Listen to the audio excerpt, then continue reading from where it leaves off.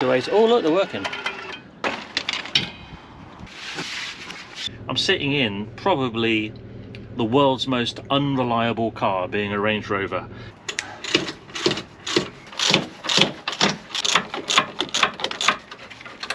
There is your electric parking brake module. Or I notice that, that this second cable here is newer than that cable. There we go. Found an old spanner there, and as I tighten this, it's putting pressure on it. Now, when I hit the brake rotor, I wanted to see if this is moving freely, which it very much is. That was loose. So on my diagnostic, my iCarSoft, there's a function that I'm hoping is going to release that cable because I need slack to get it back into its hold. An electric parking brake was flapping around. Spring, that is going to the electric parking brake. Yeah! It says it bloody works. And hit it and press the release, uh, the parking brake. Oh, I'm so excited I can't even speak. Let's lift the parking brake and let's watch the dash. Yeah!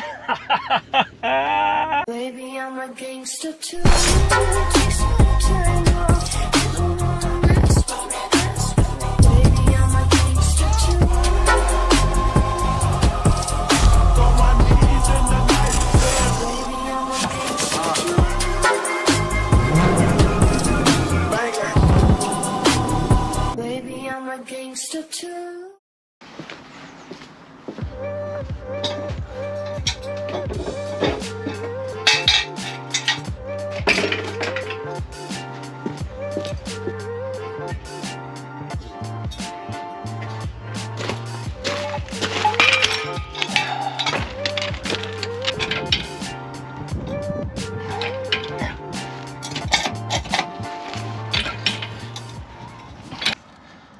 Right, so look here, what I've noticed is that these are hanging down, these obviously push in.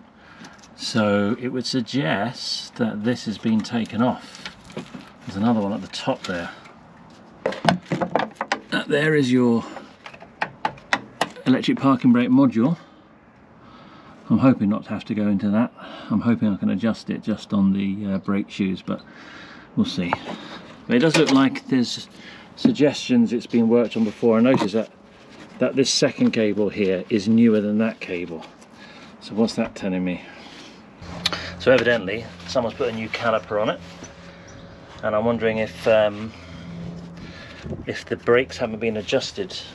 There's certainly a lot of meat left on the pads.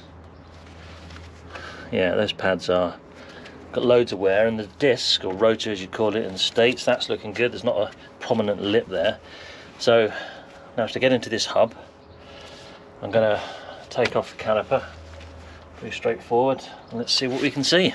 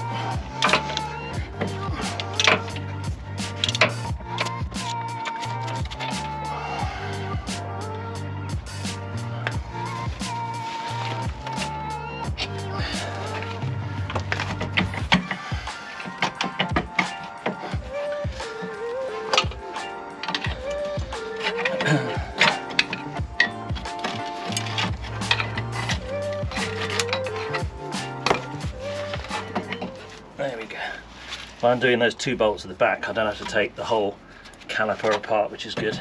Just make sure you support your brake, otherwise you end up pulling on the uh, brake cables. That sits quite nicely there. You see, these brakes have been changed very recently. Loads of loads of life left on those.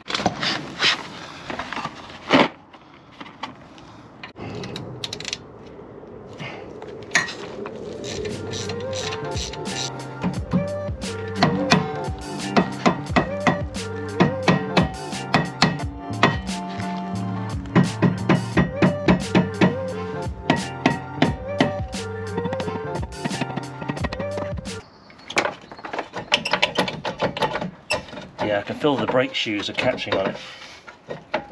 That's why I couldn't get it to come off easy. Okay, so finally got the rotor off, the brake disc.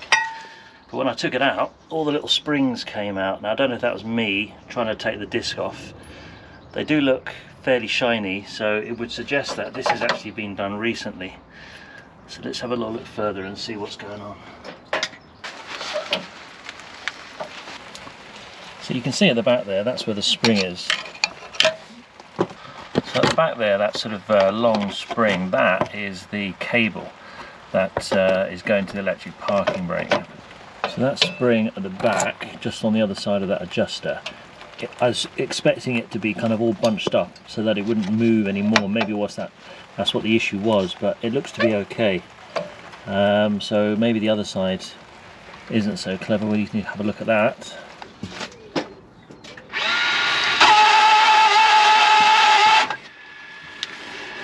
Oh, the noise is coming from the actual actuator. Oh, look, they're working. Well, that looks good. That looks good, doesn't it?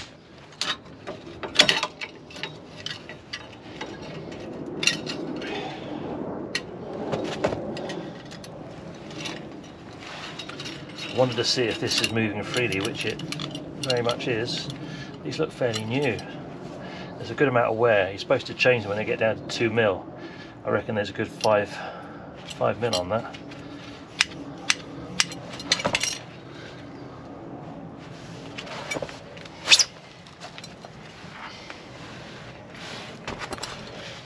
So its cable seems free. I can move it.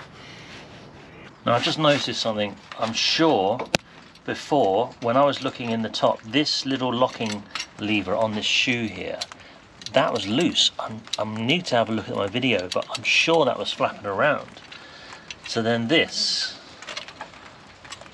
maybe wasn't being pulled in the right, it wasn't hooking in somehow, because it should go all the way through, and then this lever locks in like that and I just don't remember it being that way. I remember it being loose, so yeah, I need to have a look at that.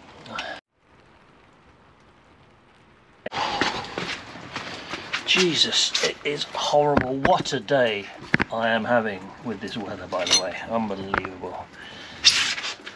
Done the other side, took it all apart, put it all back together again. Everything seemed to move, and I think the components were fairly new. But this side, something's not right what I found is, it's hard to see, but in the back here, the, hard to see, but just in there, the end of where the cable should be hooked into on the brake shoe, which is here, my little, see let's flapping around not doing anything. And the end of the cable is, is all the way in here. So in other words, the cable wasn't connected to the actual brake shoe. So let's obviously get that on.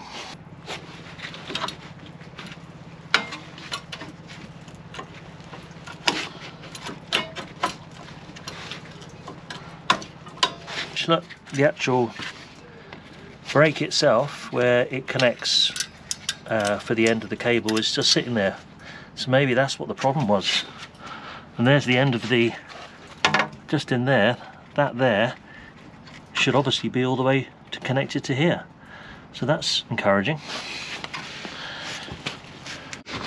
So on my diagnostic my iCarSoft there's a function that I'm hoping is going to release that cable because I need slack to get it back into its hold. So uh, let's see if I can free it. Um, so if I go into I think it's service an electric parking brake. Land Rover obviously. Doesn't matter about the software version. Turn the key to accessory so that's good it's a Range Rover Sports and it's the 2005 to 2009 here we go drive the parking brake to the mounting position drive the parking brake to the latching position uh, parking brake unjam procedure. Mounting position, mounting position. Should we try the mounting position? Right, so why don't we do the first one and see. Enter that. The following operation will drive the parking brake to the mounting position, allowing the brake cables to be connected. Perfect. Uh, this may this may be necessary. The parking brake is operated without the cables being connected to the brakes. This can lead to condition with a not enough cable available to connect to the brakes. Well, that's exactly what. So F2. Set the ignition switch to position 2. That is. 1, 2. Press F2. On. Oh, something's happening. Erasing the fault codes, please wait. Completed. Right, let's go and have a look at the thing.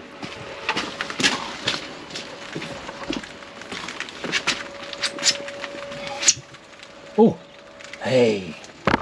Oh my goodness me. There she is, there she is, there she is, there she is. Right, connect that back on. Let's see what happens. Happy days. Right, so that shoe's got to get down into there. And this has got a latch. So I might need to take this other side of the shoe off to get that to connect over. Yeah, it's a bit of a bummer. It's going to be too difficult, I think, to work on the car.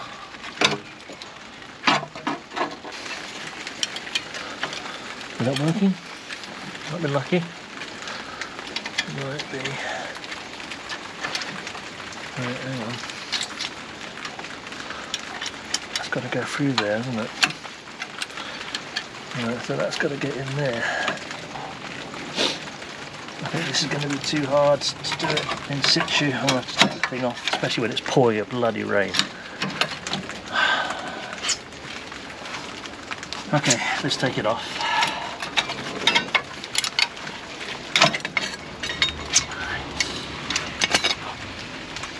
So it's moving okay, There's nothing wrong with that.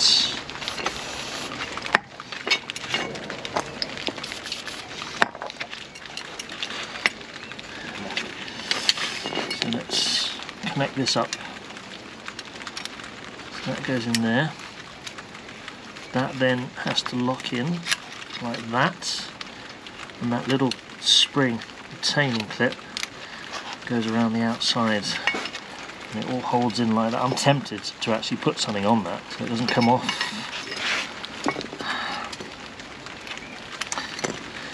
Maybe I'll get some thin wire and just wrap it around it. That's a good idea.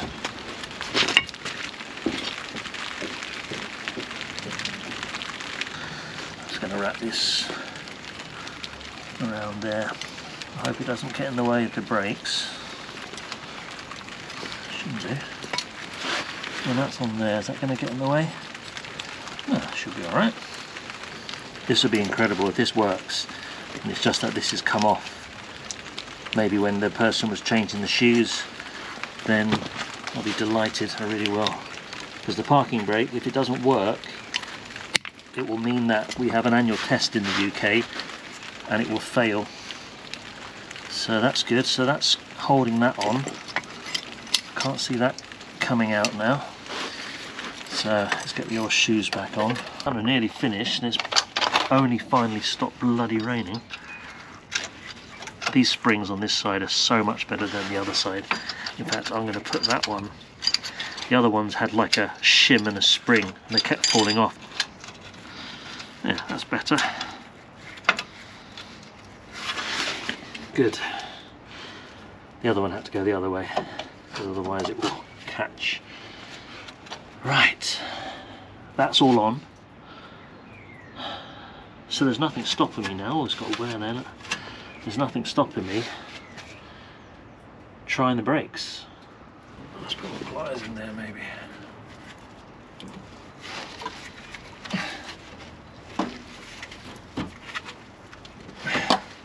Do. I'll stop it from closing. Okay, I'm going to go and uh, check the handbrake now. Just make sure that that cable is definitely on. Yep, that looks good. That looks good. Right, I'm going to try the handbrake and see.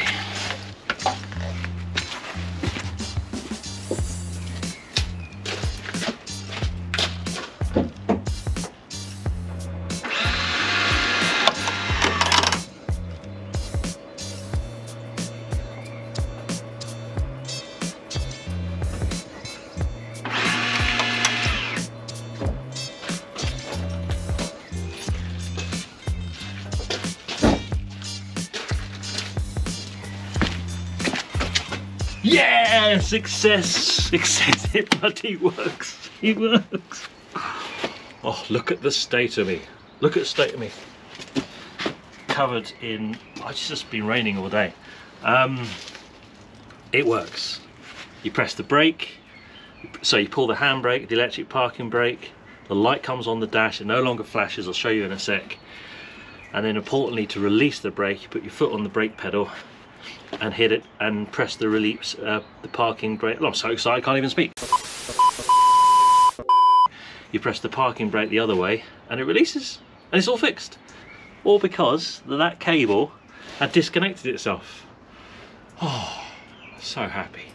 So now all the hard jobs in this car, I think, fingers crossed, are done. And I can rest easy now knowing that the car in the UK is going to pass its MOT, hopefully. right, let's get this hub and everything back together again. Oh, so happy. And look at this, finally stops raining as well. Unbelievable. Right, let's do it.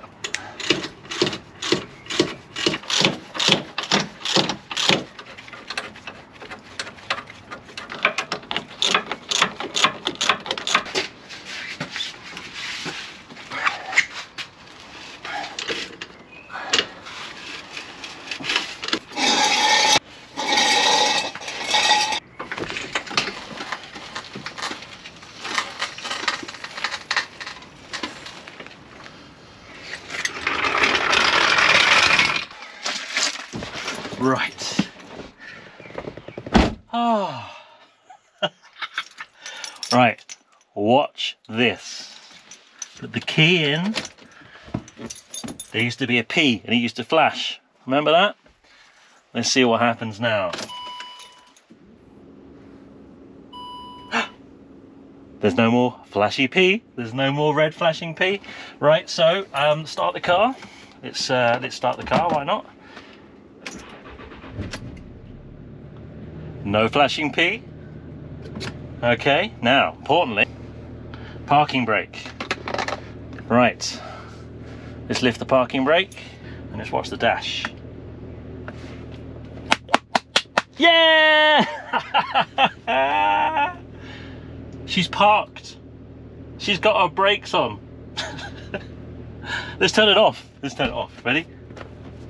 Push down here. Hey! It's gone! oh, right, that's beer o'clock. I've had enough. I'm soaking wet, I'm gonna have a shower. It's fixed, it's done. I'm so happy. Um, so if I take my foot off the park, uh, the brake, and I put the parking brake on, right, she's on. She makes no more, no more that screechy noise. And if I push the brake to turn it off, as in the electric parking brake, it will warn me. There it is. Press foot brake, park brake switch to release. So foot brake and then just push the switch down here. Ha ha ha! So good, so good, so good. Oh. I'm gonna do that one more time. Doesn't even make a noise, it's silent. So look, my name is GrooveOn. I uh, bought this Range Rover. I've done three or four other episodes before where I fixed other various things. The central locking with remote control key. I found a loose wire um, door central lock on the driver's side actuator being replaced, water bottles being replaced. I fixed the seat and all sorts of other things, but the important thing I had to do was fix that parking brake and I've done it. And I'm going to do a few other minor fixes on this car and you know if anything else comes up obviously I'll have a go at doing that. But importantly the whole point I do this channel is that you know I, I'm not a, a, a trained mechanic. I just worked on a lot of things over my life and I've been fortunate enough to kind of get fairly good at stuff. So um, I've managed to fix that electric parking brake on this occasion.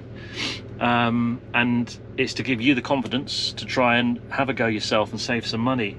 I'm sitting in probably the world's most unreliable car being a Range Rover. You've only got to look at things like Top Gear. They'll tell you just how unreliable they are.